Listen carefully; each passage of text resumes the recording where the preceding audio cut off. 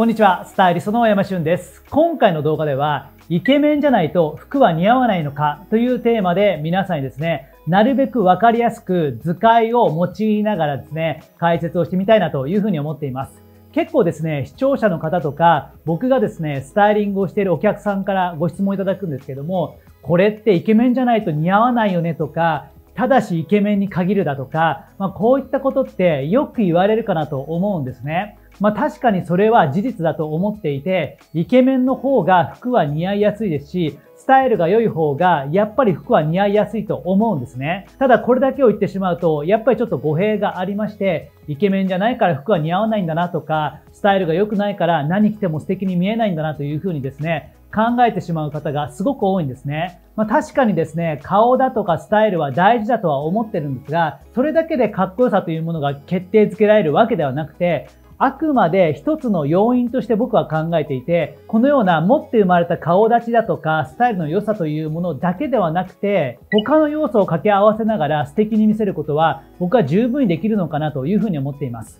僕は普段ですね、YouTube も撮っていますが、タイリストとしていろんな方をですね、素敵にコーディネートしてきたわけなんですけども、かっこよさだとか素敵さっていうのはですね、あくまで一つの要素だけで決まるものではなくて、様々な要素のミックスで決まるので、まあ、今回はですね、その要素について丁寧に解説をしながら、皆さんに少しでもおしゃれを楽しみながらですね、素敵に見せていただきたいなというふうに思っています。なかなかですね、言葉だけでは伝わりやすいので、お得意のですね、ホワイトボードにですね、今回は書いてきたわけなんですね。ちょっとこちらを見ながら解説をしていきたいなと思ってるんですが、真ん中にあるのがですね、かっこいいというですね、まあ本当にわかりやすい定義なんですけども、言い換えればですね、人の素敵さという形で置き換えてもいいかなと思ってるんですが、このかっこよさにはいくつかの条件がありまして、先ほどからお伝えしている顔だとか、スタイルですね。このあたりというのは結構持って生まれた才能的な部分がありまして、確かにイケメンだと服は似合いやすいんですが、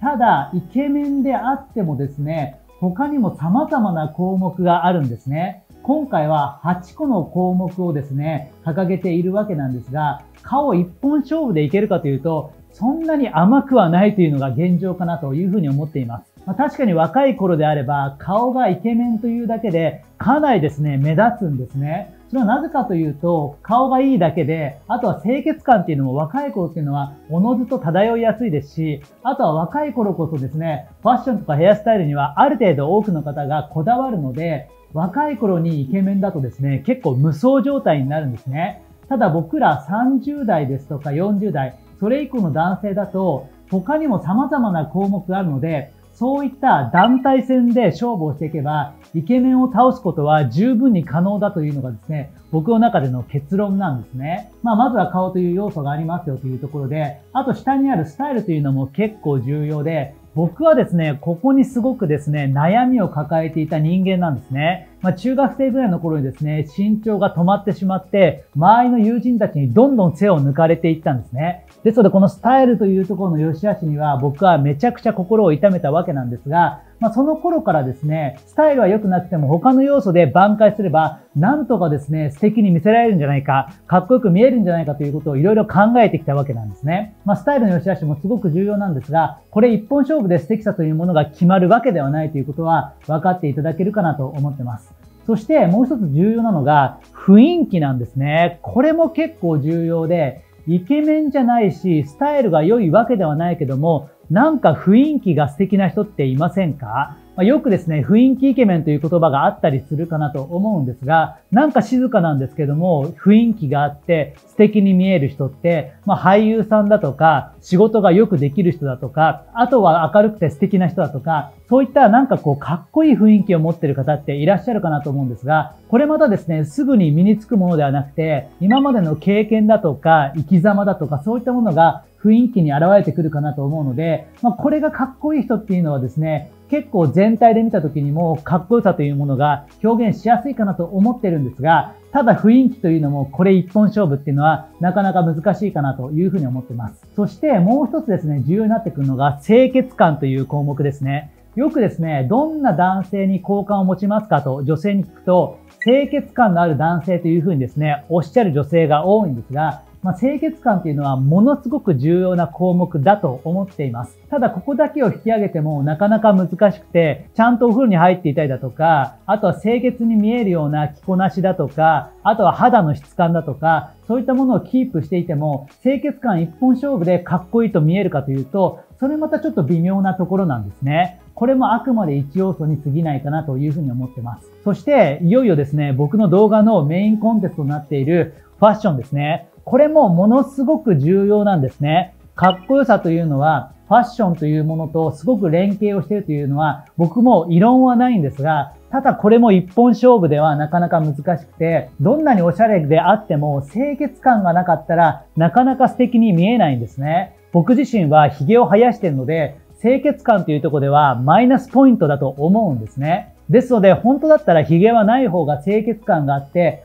かっこよかったりだとか、女性からの評判は良かったりするんですが、僕はあえてですね、髭を生やしてるわけなんですけども、そのあたりは個人のコンセプトみたいなものも関わってくるので、また今後お話ししていきたいなと思ってるんですが、ファッションだけではなくて清潔感も重要だし、あとはヘアスタイルですね。これもすごく重要なんですね。今僕自身がですね、動画に映ってるわけなんですが、靴だとか、あとはバッグだとか小物だとか、さらにはボトムスみたいなものって皆さんの視界には入ってないと思うんですね。一番目立ちやすいのは顔周りの部分であって、ヘアスタイルというのはすごくですね、重要な項目かなと思っています。ですので、ファッションだけ整っていてもダメなので、ファッションとヘアスタイルのこの2つのバランスというのはすごく重要かなというふうに思ってます。あともう一つ重要なのは人柄ですね。これもまたすごくですね、かっこよさというところに影響を及ぼすものかなと思ってます。優しい人柄だとか、男らしい人柄だとか、温かさを持った人だとか、そういった人柄みたいなものもかっこよさというところにはすごく繋がっていくかなと思ってます。あと最後はですね、仕事だとかお金という面で、これもまたですね、よく言われる部分で、バリバリに仕事ができる人だとか、その業界でしっかりと名前がある方だとか、その結果収入がある人っていうのは魅力的に見えたりだとか、かっこよく感じられることはもちろんあるんですけども、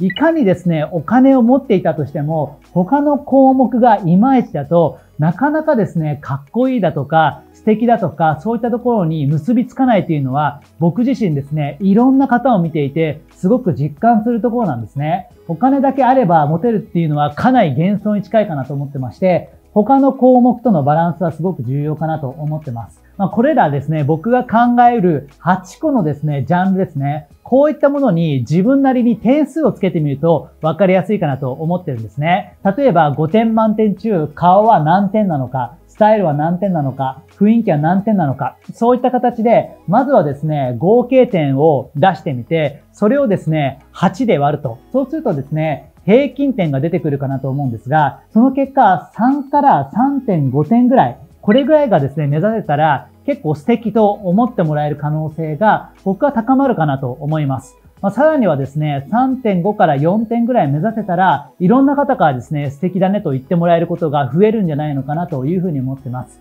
例えば、じゃあ僕自身はどうなのかというと、顔だとかスタイルっていうとこで言うと、顔はまあそんなに悪くはないけども、めちゃくちゃイケメンというわけではないので、まあ3.5ぐらいかなと思ってます。そしてスタイルにおいて言うと、僕はですね、身長164センチということで、まあ本当に背が低いので、まあ2点ぐらいかなというふうに思ってます。あとは雰囲気というところで言うと、そんなに別に僕に雰囲気あるわけではないので、まあせめて2.5から3ぐらいですかねっていうところですかね。あとは清潔感というところで言うと、先ほどもお伝えした通り、髭を生やしているので、めちゃくちゃ清潔感があるわけではないですが、まあ、肌の質感だとか、あとは全体的なファッションを含めた清潔感というところで言うと、そんなに悪くはないかなとは思ってるので、まあ3点ぐらいかなってとこですかね。あとはファッションに関しては、一応専門家なので、それなりに意識してるんですが、かといって5点満点取れるようなレベルではないことは、自分がよくわかってるので、まあ、せめて3.5から4ぐらいかなってとこでしょうかね。まあ、ヘアスタイルも同じような感じです。そこまでかっこいいわけではないし、ダサいわけではないので、まあ3から3.5ぐらいじゃないでしょうかね。あとは仕事とかお金というとこで言うと、ぼちぼちですね、人前に立ったりだとかさせていただいているので、低いことはないけども、上を見ればキリがないので、まあ3.5ぐらいでしょうかね。人柄に関しては僕は自分自身ではよくわからないので、まあ2.5というところで、ちょうど普通ぐらいの点数にしようかなと思います。まあ、そんな具合で、この点数を加算して8で割ると、まあ、大体3から3.5ぐらいになるのかなっていうのが、大山俊の得点かなと思います。まあ、その結果、僕は普通に生きてると、たまに素敵ですよと言ってもらえることもあったりするわけですね。まあ、スタイルだとか、そういった部分は僕はコンプレックスを持っていて、ここをどうにか穴埋めをしていきたいなと思ってきたわけなんですが、スタイルだけでかっこよさだとか、あとはですね、素敵さが決まるわけではないので、その他の項目でなんとかですね、得点を稼ぐということが重要かなと思ってます。顔だとかスタイルに自信がなくても、最低限ですね、ヘアスタイルなんてもう美容室に行って美容師さんと相談しながら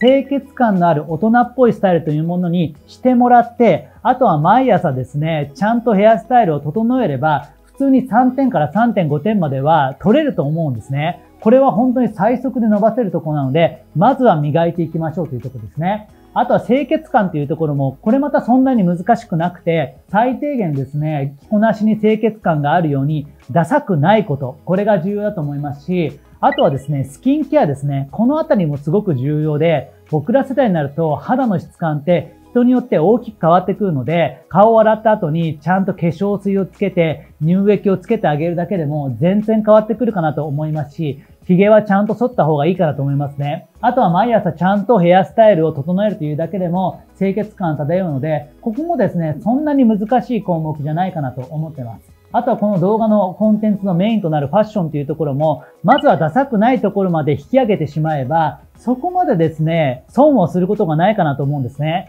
せめて2.5以上、3点くらい取れていれば十分かなと思うので、そのあたりまではユニクロを使ったりだとか GU グローバルワークを使いながら、僕は3点ぐらい目指すことが十分できるかなと思ってるんですね。そのためのコンテンツは僕の YouTube チャンネルにいっぱい詰まってるので、そういったものを見ていただければ、ファッションを引き上げることも僕は十分可能かなというふうに思ってます。あと人柄とか仕事お金というのは、まあ、個々人のですね、頑張るところであって、ここは皆さんの持ち点というものがあるかなと思うので、ここが最初から高い方というのは、ちょっとしたヘアスタイルとかファッションとか清潔感を意識するだけでも、だいぶ素敵に見えやすいかなと思ってます。一方で、どんなに素敵な人でも、人柄がいまいちだとですね、これまた素敵に見えなかったりするので、人間性を少しずつ高めていくというのは、僕自身もすごく課題だなと思っているところなんですが、人柄は磨いていけばいいかなと思っています。そして結構雰囲気というのは面白いもので、ファッションだとかヘアスタイルが整ってきて、自分に対して自信が出てくると、雰囲気もおのずと磨かれてくるということ、結構少なくないんですね。自信を持てる男性って結構雰囲気が良かったりするので、仕事ができたりだとか、お金持ってる人はこの雰囲気がいい方っていうのも結構少なくないかなと思うので、このあたりは後付けでどんどん伸びてくる項目かなというふうに思っています。なかなかいじりづらいですね、顔だとかスタイル、ここをですね、据え置きしながらも、その他の項目っていうのは、なんとかですね、努力で磨くことができるものかなと思ってるんですね。まあ僕のチャンネルでよくカバーしてるのは、ファッションだとかヘアスタイルだとか、清潔感という項目ではあるんですが、それ以外にもですね、仕事を頑張るだとか、収入を上げるだとかっていうアプローチをする方もいらっしゃると思いますし、人柄を高めていくっていうのも、それまた良いアプローチかなと思うんですが、こういった全体像を意識しながら、自分に得点をつけて、どのあたりにウィークポイントがあるのかというのをですね、しっかりと理解しながら磨いていくというのはすごくいいかなと思ってますので、ぜひですね、皆さん、イケメンじゃなくても、スタイルが良くなくても、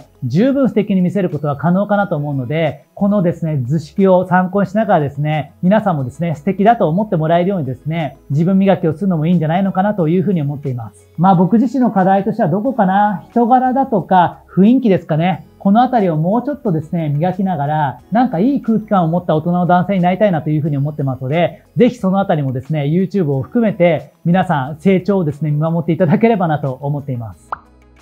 はい、ということでいかがでしたでしょうか？今回の動画では、イケメンじゃなくても素敵に見せる方法ということで、皆さんに具体的に図解を用いながらですね、解説をさせていただきました。まあ、これって結構重要なことで、なかなかですね、こういったことを語るような動画って多くはないかなと思ってるんですね。僕も普段の動画の中では、ファッションの磨き方というところで皆さんに動画を出しているんですが、ファッションだけを磨いてもなかなか素敵に見えないことも少なくないので、ぜひこの全体像を理解しながらですね、ご自身が得意としている分野は何なのか、そして苦手なところ、伸ばせる要素があるところはどこなのか、このあたりを理解していただくと、すごくですね、ステップとしてはいいのかなと思うので、参考にしていただければなというふうに思っています。これからもですね、こちらのチャンネルでは大人の男性に向けてメンズファッションの今日をですね、なるべくわかりやすく解説しつつ、たまにはですね、こういった脱線をしながらですね、素敵に見せる方法だとか、そういったものにもですね、言及していきたいなと思ってますので、よかったら皆さんコメント欄、いろいろとですね、皆さんの素敵に見える定義だとか、皆さんの課題としているところはどこなのか、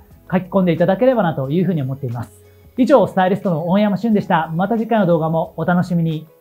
おしゃれ初心者から中級者へステップアップしませんか？限定動画では中級者向けのアイテムコーディネートからライフスタイルまで発信。皆さんからのご質問のほか無料動画では語れないスタイリストの本音もお伝えします。大山旬のメンバーシップチャンネル。